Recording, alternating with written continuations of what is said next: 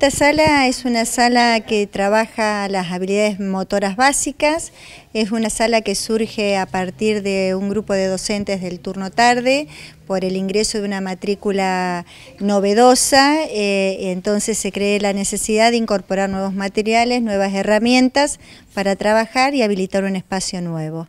De allí que surge la necesidad de trabajar todos los que son los aspectos básicos de la psicomotricidad eh, a través del juego, a través de las habilidades básicas como rolar, desplazarse, trabajar en,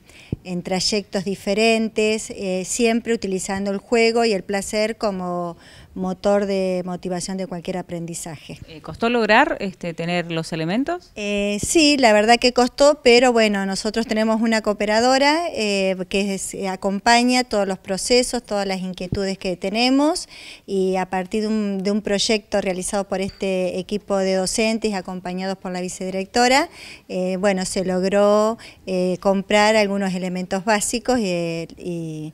tenerlos en este momento a disposición de los alumnos. Este proyecto surge porque, como todo el, ciudadano de Santa Rosa sabe, se abrió una campaña de socios eh, que hacía muchos años que no se hacía cuando tuvimos que poner un, objetivo a corto plazo para lograr eh, sacar la campaña adelante, dijimos, bueno, el proyecto de los docentes era esta sala. Bueno, comencemos con esto y a partir de ahí empezaron a surgir todas las necesidades materiales. Se ha comprado mucho material, en este momento ustedes no pueden visualizar todo porque el espacio eh, no da para poner todo el material que se ha comprado, pero los docentes que trabajan en este área van usando todos los días algo, así que bueno, más allá la cooperadora está invirtiendo dinero en otros aspectos que no los tenemos acá, como una fotocopiadora para la sala de secretaría. También eh, la directora en su momento nos pidió la necesidad de renovar vajillas, de renovar manteles, para que los chicos en el comedor tengan un lugar eh, lindo, agradable a la hora de la comida, que también es una enseñanza dentro de esta escuela. El rol que está ocupando la cooperadora, digamos, tiene que ver con que por ahí desde el Estado en este momento no se está pudiendo solventar eh, todas estas cuestiones.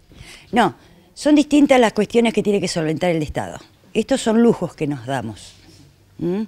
El Estado no puede solventar una sala de psicomotricidad en todas las escuelas de Santa Rosa, como la refrigeración en todas las escuelas de Santa Rosa. El Estado solventa las necesidades básicas de esta escuela como las necesidades básicas de otra escuela. Estos son lujos y son cosas que la cooperadora trabaja para que la escuela la tenga.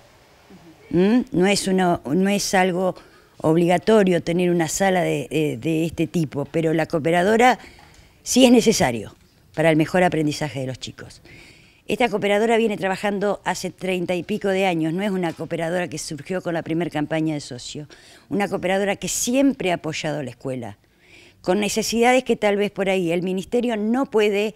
eh, cerrar por una cuestión de que cuenta con muchas escuelas y no puede hacer diferencias.